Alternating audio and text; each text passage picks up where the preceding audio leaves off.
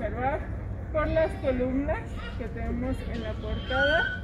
Las de los lados, no sé si noten, pero tienen como una eh, disminución de tamaño.